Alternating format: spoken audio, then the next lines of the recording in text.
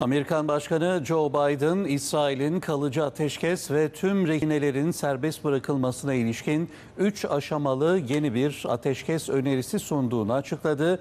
Bu savaşın bitme zamanı geldi dedi. Biz de bu açıklamayı değerlendirelim istedik. Akademisyen Profesör Doktor Sayın İrfan Kaya Ülger bizimle birlikte. Sayın Ülger hoş geldiniz. Merhaba Tunç Bey. Efendim e, bu savaşın bitme zamanı geldi ne demek? Öte yandan Netanyahu bu savaş ben bitti demeden bitmez diye bir çıkış yapar mı? Ee, esasında söyledi onu. Yani dün itibariyle Netanyahu dedi ki yani biz savaş hedeflerimize ulaşıncaya kadar devam edeceğiz dedi. Fakat ABD'nin de bugüne kadar kullanmadığı inisiyatifi dün itibariyle e, sahaya sürdüğünü, kullanmaya başladığını görüyoruz. Şimdi Joe Biden'ın açıkladığı ateşkes önerisi aslında 3 aşağı 5 yukarı Mayıs ayı başında e, Hamas'ın e, kabul ettiği, arabulucuların hazırladığı, Hamas'ın kabul ettiği, İsrail'in reddettiği ateşkes önerisinin 3 aşağı 5 yukarı aynı nüans farklılıklar var. Her ikisinde de 6 haftalık bir e, kademeli olarak savaşın sonlandırılması öngörülüyor. Birinci aşamada 6 haftalık bir Evet 3 Ateşkes. çarpı 6 hafta Evet. şeklinde. E, Şimdi nüans farklılıklar var. Bir kez taraflar yani en başta ön koşu olarak neyi ileri sürmüşlerdi? Oradan geri adım atmadıklarını ispat etmeye çalışıyorlar. Hamas tarafı da, İsrail tarafı da. Tüm rehineler serbest bırakıldıktan sonra ancak o takdirde ateşkese ulaşacağını söylüyor İsrail yönetimi. Onu kabul edeceğini söylüyor. E, ve Hamas'ın e, Gazze'de etkisinin ortadan kalkmasını ön koşul olarak ileri sürmüştü. Oysa bugün dünkü öneride bu, bunlardan biraz uzaklaşıldığı anlaşılıyor. Şimdi Hamas'a baktığımızda ise Hamas e, işgalin e, sonlanmasını ön koşul olarak e, ve e, ancak e, bu işgale paralel olarak tedrici e, rehinelerin serbest e, bırakılmasını ve e, insani yardımların aksamadan sürdürülmesini, yerlerine dönmek isteyen tüm sivillere izin verilmesini ön koşul olarak ileri sürmüştü. Şimdi 3 aşağı 5 yukarı e, bu Netanyahu'nun açıkladığı öneri aslında İsrail'in önerisi. İsrail'in e, kendisi değil de işbirliği yaptığı e, aktör olarak ABD bunu e, gündeme getirdi. İsrail kabinesi içerisinde sertlik yanlısı olanlar e, olduğunu dün Joe Biden da söyledi. Onlar bir şekilde ikna edilecek. Öyle anlaşılıyor ki Gazze çatışmasının yol haritası 3 aşağı 5 yukarı ortaya çıktı. Yani e, bu işgal edilen e, bu coğrafyadan belli bir periyot sonra İsrail tamamen çekilecek. Fakat burada Hamas'ın e, tekrar hakim olmasını istemiyor. Tabii Hamas yekpare değil. Siyasi kanadı, kanadı var, askeri kanadı var. E, ama bildiğimiz kadarıyla Netanyahu yani İsrail Hamas'ı hem askeri kanat olarak hem siyasi anlamda da var olmasını istemiyor. İstemiyor evet mümkün doğru. olabilecek mi? Ee, ama Hamas aynı zamanda bir siyasal parti. 2006'daki seçimleri kazanan bir siyasal parti. Neticede bu Aksa tufanı Hamas'ın askeri e, kanadının bir operasyonu. İzzettin Kasım Tugayları daha başkaları da var. Evet.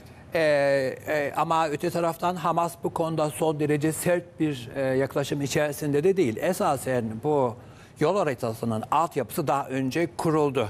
Bu işin içerisinde Rusya'da var, bu işin içerisinde Türkiye'de var, bu işin içerisinde Çin'de var. Ee, yani e, İsmail Haniye Türkiye'yi ziyaret ettiğinde e, Erdoğan hep şunu tekrarladı. O toplantıda da Türkiye'nin sürekli tekrarladığını toplantıda da vurguladı. Biz e, Filistin tarafının ikilik yaratmadan kolektif hareket etmesini, bir araya gelmesini istiyoruz dedi.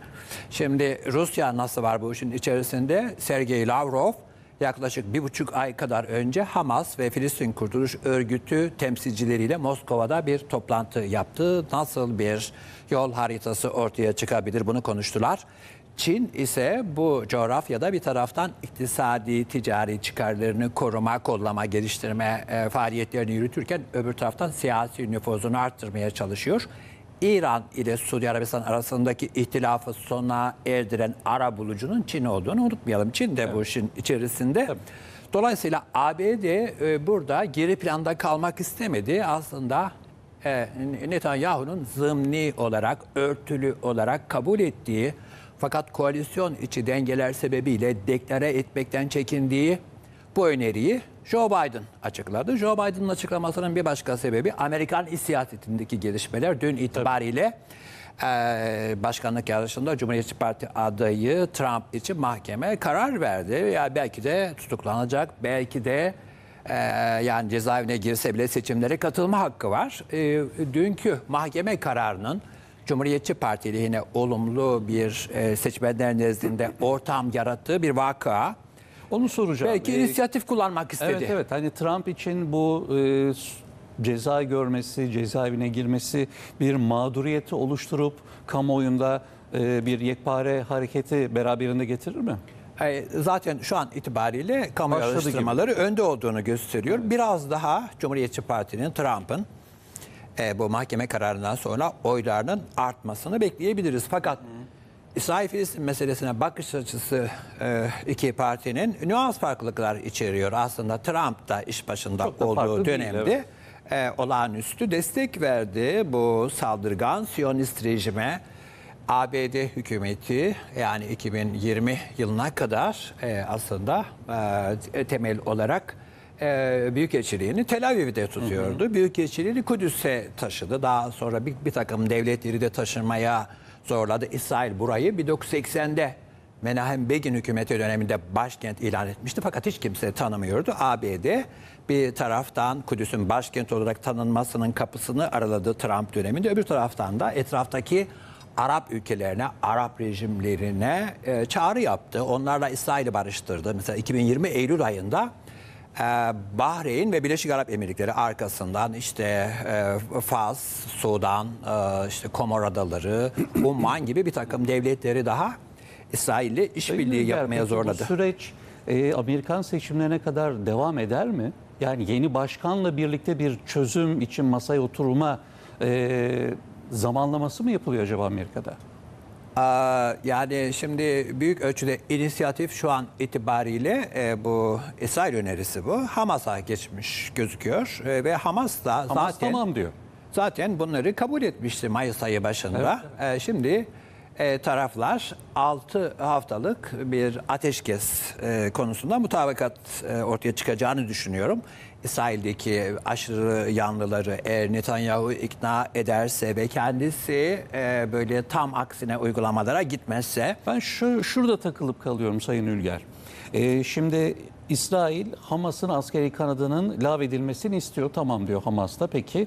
Ama siyasi kanadıyla alakalı Hamas'ın böyle bir tamam demişliği yok. Burada eğer eğer barış olacaksa Hamas ismini değiştirerek yeniden bir parti kimliğine mi bürünür acaba? bir, bir muğlaklık var aslında. Mesela Evet. birinci aşamada bu ateşkes kabul edildiğinde 6 haftalık süre başladığında bir taraftan işte çocuklar, kadınlar, ihtiyarlar bunların serbest bırakılması, işte öbür taraftan sivil nüfus olmayan yerlerden çekilmesi. İsrail bu arada epeyce bir kısmının sivil nüfusu sıkıştırdığı için İsrail bu Gazze'yi e, kompartımanlara ayırdı. Acaba işte kontrolü sağlamak mı istiyor? Belli bir tampon bölge mi oluşturmak istiyor? Bunlar tabii kuşku yaratıyor. Tabii. Fakat bu aşamada ateşkesten sonra bir sonraki aşama için yani kalıcı bir statüko oluşması için müzakereler başlayacak. Bu müzakereleri kim yürütecek? Mesela muğlak bu husus. Tabii. Yani Hamas mı yürütecek yoksa tüm dünyanın tanıdığı meşru Filistin otoritesi Mahmut Abbas mı yürütecek? Esasen bunun altyapısını kurdular.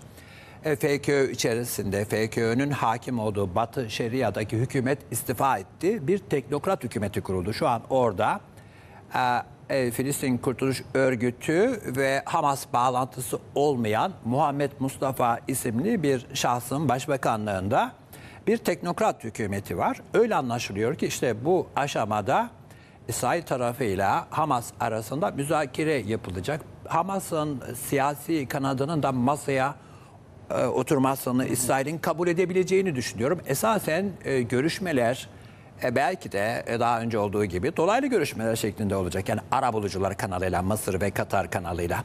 Şimdi tabii ki dün Joe Biden'ın açıkladığı bu İsrail'in önerisinin şekillenmesinde ABD'nin ağırlığı da ehemmiyet taşıyor. Çünkü E, Kahire'deki görüşmeler kilitlendiği için aslında Paris'te e, CIA Başkanı, Mossad Başkanı ve Katar e, yöneticisi e, Paris'te tekrar müzakereler nasıl başlayabilir, nasıl bir dinamizm ortaya çıkabilir bunu konuşmuşlardı.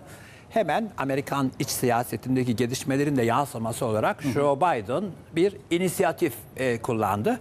Şimdi Tunç Bey benim kanaatime göre önümüzdeki zaman diliminde ateşkesin kabul edilmesi ve çatışmaların sonlanma ihtimali güçlü. Şu an itibariyle neyi görüyoruz?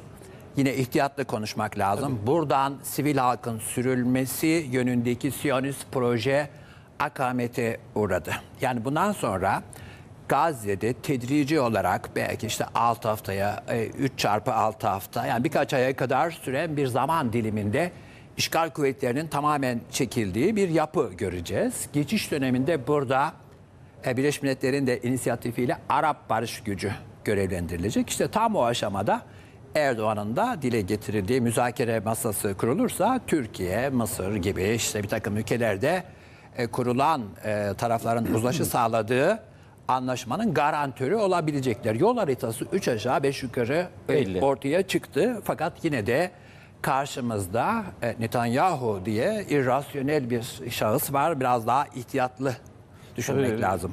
Yani İsrail ve Netanyahu cümle içinde yan yana geldiğinde e, acaba soruları da peş peşe gelmeye başlıyor. E, Sayın Ülger çok az zamanımız kaldığı için hemen hızlıca sormak isterim. Şimdi dünyada bazı ülkeler Filistin'i tanıdı. İspanya, Norveç, efendim e, Finlandiya gibi ve belli ki yeni ülkelerde e, bu furaya katılacaklar ve Filistin iyiden iyiye dünya ölçeğinde tanınmaya başlayacak. Bu ne anlama gelir? Bundan sonraki süreçte artık Filistin gerçek bir devlet kimliğine bürünerek dünyada varlığını kabul ettirebilecek bir e, çizgiye mi geliyor?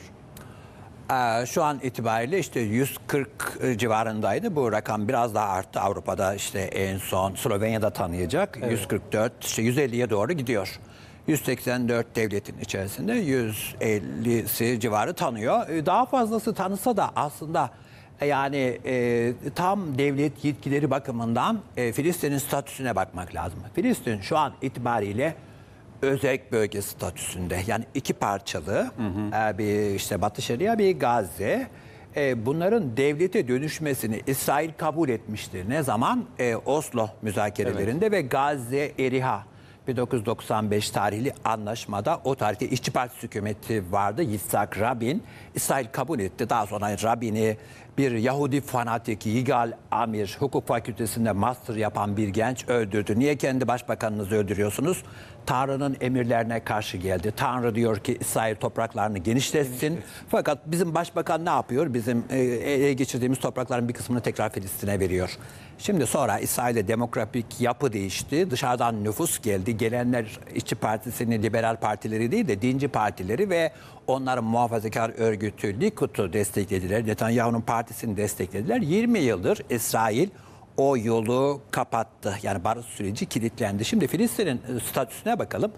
Özel bölge statüsünde iki parçadan oluşuyor. Ayrılık ortaya çıktı. FK önce netice olarak bütün örgütleri... Sayın Ülger. Efendim? Son bir dakikamız.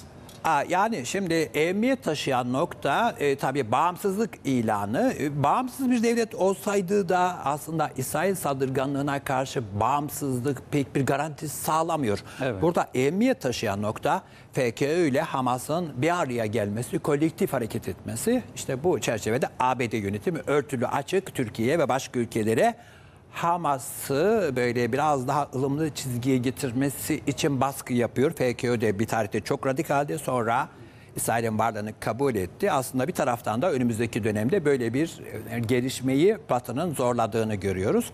Hamas radikal, radikal çizgiden biraz daha uzaklaşıp FKÖ çizgisine geldiği takdirde biraz daha belki barış süreci daha Hızlanabilir. netleşmeye başlayacak. Bunu öngörebiliriz. Sayın Ülger çok teşekkür ederiz katkılarınız için.